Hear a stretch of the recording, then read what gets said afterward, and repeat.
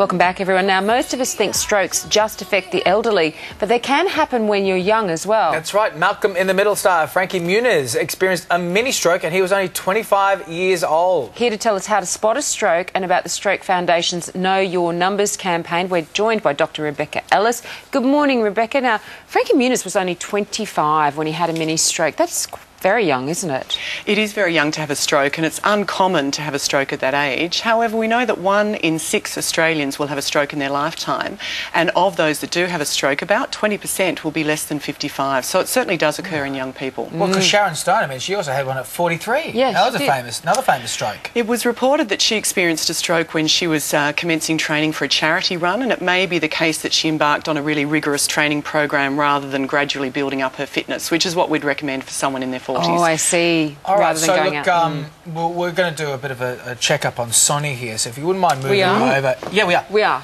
Uh, All right. Just because I'm worried about your blood pressure. Okay. Um, so let's take it. That, um, so uh, nearly four million Australians over 25 have high blood pressure, but a lot of people don't know their own blood pressure. Now, so what is it? You were saying it in the ad break. It's like it's like 120 over 80. Is that normal? Is that normal? So the normal blood pressure would be less than Sonia, 120 try to on 80. relax. I can't. I'm really nervous Just pop now. it on this is only Does your it health. matter if you get nervous? It'll probably put it up a little bit. What was the number Okay. again? One 120 on 80 would be normal 80. blood pressure. 20 on 80. Oh, And um, we should ideally have blood pressure less than 140 on 90. So, Okay, so what is the Know Your Numbers campaign?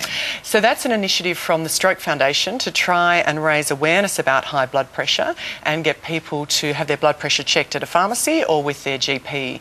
Because we know that long standing uh, high untreated blood pressure is a really important risk factor for heart attacks and strokes. What's going on there? She's dropping down there. Here we go. Dropping rapidly. Okay, so what is she? That's a little higher than I expected. Oh, what, really? What was it? 158 on 84. That's not good. I think it's No, the excitement of television. Is that what it is? We'll repeat that off air. Okay. Okay, we'll try that off air. Now, stroke is Australia's second biggest killer. So, are are there signs? Because I know if you've got a heart attack, it's like the left arm and all this. What about a stroke? So, a heart attack is where there's a disruption to the blood supply to the heart muscle, and a stroke is a bit like a brain attack. So, it's where um, a blood vessel or an artery gets clotted and blocked, or it may be that there's a rupture of a blood vessel and a bleed. So, there are lots of symptoms of stroke, such as numbness or weakness of the face, the arms, the legs, dizziness, confusion, falls. Rebecca, if you see someone having a stroke, what should you do?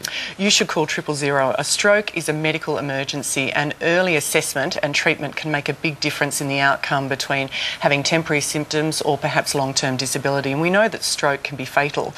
Um, so, if you have such symptoms such as drooping of the face, you can't lift your arms, your speech has become slurred, people can't understand you and you can't understand them, Yeah. then you should call triple zero. It's a medical emergency. All right, well, look, thank you so much. We're going to get you to check Sonia's uh, blood pressure again because that was, as you said, a little high. But for more information on the Stroke Foundation's Know Your Numbers campaign, please visit their website, www.strokefoundation.com.au. Thanks, Doc, for coming in. Sonia, just lie down. Also ahead, believe it, woo! Cher is 67 today. She is celebrating, we're going to celebrate her top hits. But up next, the Queensland bloke who became a Beverly Hills.